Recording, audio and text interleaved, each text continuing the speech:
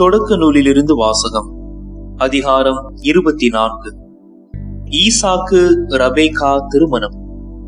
Abraham வயது மிகுந்தவராய் முதுமை அடைந்தார் ஆண்டவர் அவருக்கு அனைத்திலும் ஆசி வழங்கியிருந்தார். ஒரு நாள் அவர் தம் வீட்டின் வேலைக்காரர்களில் மூத்தவரும் தமக்குரிய அனைத்திற்கும் அதிகாரியமானவரை நோக்கி உன் கையை என் தொடையின் கீழ் வைத்து விண்ணுலகிற்கும் மண்ணுலகிற்கும் கடவுளாகிய ஆண்டவர் மேல் ஆணையிட்டு சொல். நான் வாழ்ந்து வரும் இக்கானா நாட்டு பெண்களிடையே என் மகனுக்கு பெண் கொள்ள மாட்டாய் என்றும் என் சொந்த நாட்டிற்கு போய் என் உறவினரிடம் என் மகன் ஈசாக்கிற்கு பெண் கொள்வாய் என்றும் சொல் என்றார். அதற்கு அவர் ஒருவேளை பெண் என்னோடு இந்நாட்டிற்கு வர மறுத்துவிட்டால் தாங்கள் விட்டு வந்த அந்த நாட்டிற்கு தங்கள் மகனை கூட்டிக் கொண்டு போகலாமா? என்று கேட்டார். அதற்கு ஆபிரகாம் அங்கே என் மகனை ஒரு காலம் கூட்டிக் கொண்டு போகாதே கவனமாயிரு என் தந்தை வீட்டினின்றும் நான் பிறந்த நாட்டினின்றும் என்னை அழைத்து வந்து என்னோடு பேசி இந்த நாட்டை உன் வழிமரபினருக்கு தருவேன் என்று ஆணையிட்டு கூறிய அந்த விண்ணுலகின் கடவுளாகிய ஆண்டவரே உனக்கு முன் தம் தூதரை அனுப்பி வைப்பார். நீ போய் அங்கே என் மகனுக்கு பெண் கொள். உன்னோடு வர அப்பெண் விரும்பாவிடில் எனக்கு நீ அளித்த வாக்குறுதியை நின்று விடுதலை பெறுவாய். என் மகனை மட்டும் அங்கே கூட்டிக் கொண்டு போகாதே என்றார். அவ்வாறே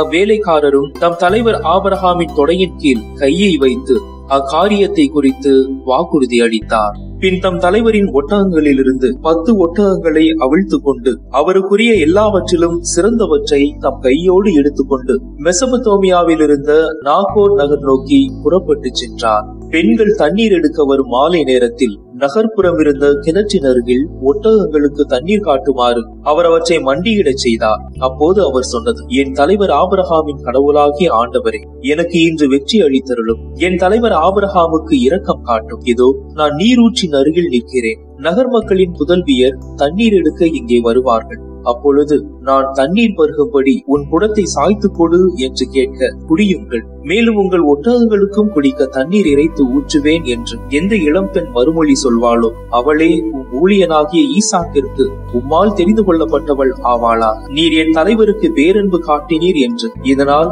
நானும் அறிந்து கொள்வேன் என்றார் அவர் இவ்வார்த்தைகளை தமக்குள் சொல்லி முடித்த பின்பே இதோ ரபேகா தம் தோள் மீது குடத்தை வைத்துக் கொண்டு வந்தார். அவர் ஆபரகாமின் சகோதரர் நாகோருக்கும் அவர் மனைவி மில்காவுக்கும் பிறந்த பெத்துவேலின் மகன். அவள் எழில்மிக்க தோற்றமுடையவர் ஆண் தொடர்பு அறியாத கன்னி பெண் அவர் நீரூற்றுக்குள் இறங்கி குடத்தை நிரப்பிக் கொண்டு மேலேறி வந்தார். ஆபரகாமின் வேலைக்காரர் அவரை சந்திக்க ஓடிச் சென்று உன் குடத்தினின்று எனக்கு கொஞ்சம் தண்ணீர் குடிக்க தருவாயா? என்று கேட்டார். உடனே அவரும் குடியுங்கள் ஐயா என்று விரைந்து தம் குடத்தை தோழி நின்று இறக்கி அவருக்கு குடிக்க கொடுத்தார். அவர் குடித்து முடித்ததும் மீண்டும் அவரை நோக்கி உங்கள் ஒட்டகங்களும் குடித்து முடியும் மட்டும் நான் தண்ணீர் இறைத்து கொடுப்பேன் என்றார். குடத்து நீரை தொட்டியில் விரைவாய் ஊற்றிவிட்டு மேலும் தண்ணீர் இறைக்க நீரூற்றுக்குள் ஓடிச் சென்று ஒட்டகங்கள் அனைத்திற்கும் தண்ணீர் இறைத்து ஊற்றினார். அந்த வேலைக்காரர் இதை கண்டு வாயடைத்து போய் தமது பயணத்திற்கு ஆண்டவர் வெற்றி அளித்தாரா இல்லையா என்று அறியும்படி அவரை பார்த்து கொண்டிருந்தார். ஒட்டகங்கள் நீர் குடித்து முடிந்த பின் அவர் அவருக்கு ஆறு கிராம் நிறையுள்ள பொன் மூக்கனியும் நூற்றி இருபது கிராம் நிறையுள்ள இரண்டு காப்புகளும் கொடுத்தார். பின்னர் அவரை நோக்கி நீ யாருடைய மகள்? சொல். உன் தந்தையின் வீட்டில் நாங்கள் இரவு தங்குவதற்கு இடம் இருக்குமா? என்று வினவினார். அவரோ மறுமொழியாக நாகோருக்கு மில்கா பெற்ற மகனான பெத்துவேலின் மகள் நான் என்றார். மேலும் எங்கள் வீட்டில் வைக்கோலும் தீவனமும் மிகுதியாக இருப்பதுமன்றி தங்குவதற்கு இடமும் உண்டு என்றார். அந்த மனிதர் ஆண்டவரை வணங்கி தொழுது என் தலைவர் ஆபரகாமின் ஆண்டவர் போற்றி போற்றி. என் தலைவருக்கு அவர் காட்டியிருந்த பேரன்பையும் உண்மையையும் விட்டு விலகவில்லை. என் தலைவரின் சகோதரன் வீட்டிற்கு வரும் வழியில் அவர் என் முன்னே சென்றார் என்றார். அந்த இளம்பெண் ஓடிச் சென்று தன் தாயின் வீட்டில் உள்ளோருக்கு இந்நிகழ்ச்சிகளை பற்றி கூறினார். ரெபேகாவுக்கு லாபான் என்னும் சகோதரன் இருந்தான். அவன் வெளியே வந்து அந்த மனிதரை பார்க்க நீரூற்றை நோக்கி ஓடினான். ஏனெனில் தன் சகோதரி அணிந்திருந்த மூக்கணியையும் கை காப்புகளையும் அவன் கண்டிருந்தான். அந்த மனிதர் என்னிடம் இவ்வாறு சொன்னார் என்று தன் சகோதரி ரெபேகா கூறிய வார்த்தைகளையும் கேட்டிருந்தான். அவன் அந்த ஆளிடம் ஓடிச் சென்று நீரூற்றருகில் ஒட்டகங்களோடு அவர் நின்று கொண்டிருப்பதை கண்டான். அவன் அவரை நோக்கி ஆண்டவரின் ஆசி பெற்றவரே வருக. இங்கு தாங்கள் வெளியே நிற்பது ஏன்? உமக்காக வீட்டையும் ஒட்டகங்களுக்காக இடத்தையும் துப்புரவு செய்து வைத்திருக்கிறேன் என்று சொன்னான்.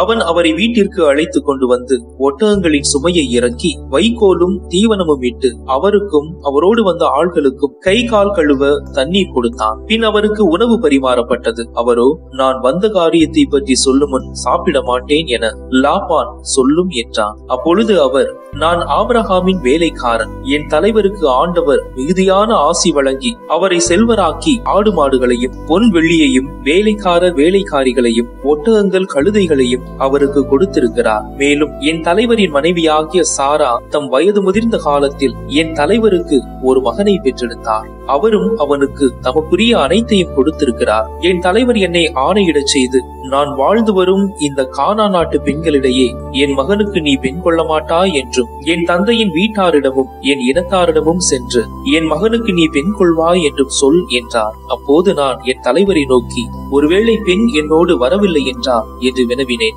அதற்கு அவர் மறுமொழியாக ஆண்டவர் திருமுன் நான் வாழ்ந்து வருபவன். அவர் உன்னோடு தம் தூதரை அனுப்பி உனது பயணத்தை வெற்றி பெறச் செய்வார். என் இனத்தாரிடையே என் தந்தையின் குடும்பத்திலிருந்து என் மகனுக்கு பெண் கொள்வாய். அப்பொழுது நீ எனக்கு அளித்த வாக்குறுதியை நின்று விடுதலை பெறுவாய். அப்படியே நீ என் இனத்தாரிடம் போய் கேட்டும் அவர்கள் தராவிட்டால் நீ எனக்கு அளித்த வாக்குறுதியை நின்று விடுதலை பெறுவாய் என்றார். இன்று நான் அந்த நீரூற்றின் அருகில் வந்தவுடன் என் தலைவர் ஆபரகாமின் கடவுளாகிய ஆண்டவரே நான் மேற்கொண்ட பயணத்திற்கு கருணை கூர்ந்து வெற்றி தாரும். இதோ நான் நீரூற்றின் அருகில் நிற்கிறேன். தண்ணீர் எடுக்க வரும் இளம் பெண்ணிடம் நான் பருகும்படி உன் குடத்திலிருந்து எனக்கு கொஞ்சம் தண்ணீர் தா என்று கேட்க அவள் குடியுங்கள். மேலும் உங்கள் ஒட்டகங்களுக்கும் தண்ணீர் இறைத்து ஊற்றுவேன் என்று சொல்வாளாயின். அவளே என் தலைவரின் மகனுக்கு ஆண்டவரால் தெரிந்தெடுக்கப்பட்டவள் ஆவாள் என்று என் மனதிற்குள் சொல்லி முடிக்கும் முன்பே இதோ ரபேகா தன் தோள் மீது குடத்தை வைத்துக் கொண்டு வந்தாள். நீர் இறைக்குமாறு அவள் நீரூற்றுக்குள் இறங்கினாள்.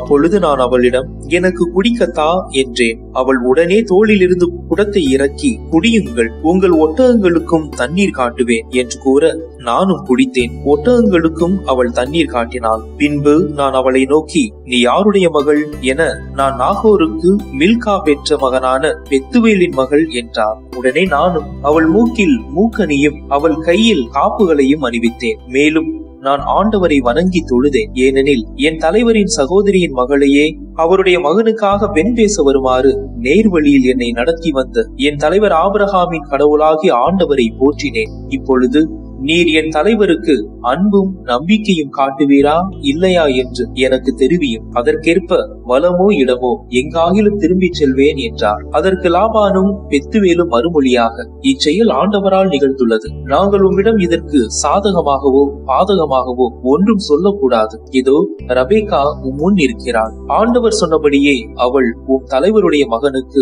மனைவியாகும்படி அவளை அழைத்துக் கொண்டு போங்கள் என்றார். ஆபரஹாமின் வேலைக்காரர் அவர்களுடைய வார்த்தைகளை கேட்டதும் ஆண்டவரை தொழுதார். பிறகு அவர் பொன் வெள்ளி நகைகளையும் ஆடைகளையும் எடுத்து ரபேகாவுக்கு கொடுத்தார். அவர் சகோதரருக்கும் தாய்க்கும் விலையுயர்ந்த அன்பளிப்புகளையும் கொடுத்தார். பின் அவரும் அவரோடு இருந்தவர்களும் உண்டு குடித்து அங்கு இரவை கழித்தார்கள். அவர்கள் மறுநாள் காலை எழுந்ததும் அவர் என் தலைவரிடம் போக விடை தாருங்கள் என்றார். ரபேகாவின் சகோதரனும் தாயும் அவரை நோக்கி பெண் பத்து நாள்களேனும் எங்களோடு இருக்கட்டும் அதன் பின் புறப்பட்டு போகலாம் என்று மறுமொழி கூறினர். ஆனால் அவர் அவர்கள் அவர்களிடம் என்னை நீங்கள் தாமதப்படுத்தாதீர்கள். ஆண்டவர் என் பயணத்திற்கு வெற்றியை தந்திருக்கிறார். என் தலைவரிடம் நான் சொல்லும்படி விடை கொடுங்கள் என்றார். அதற்கு அவர்கள் பெண்ணை அழைத்து அவள் விருப்பத்தை கேட்போம் என்றனர். அப்படியே ரபைக்காவை அழைத்து இவரோடு போகிறாயா? என்று அவரை கேட்டனர். அவரும் போகிறேன் என்றார். எனவே அவர்கள் தங்கள் சகோதரி ரபைக்காவையும் அவர் தாதியையும் ஆபரகாமின் வேலைக்காரரையும் அவரை சேர்ந்தவர்களையும் அனுப்பி வைத்தனர். அப்பொழுது அவர்கள் ரபேகாவுக்கு ஆசி வழங்கி அவரை நோக்கி எம் சகோதரியே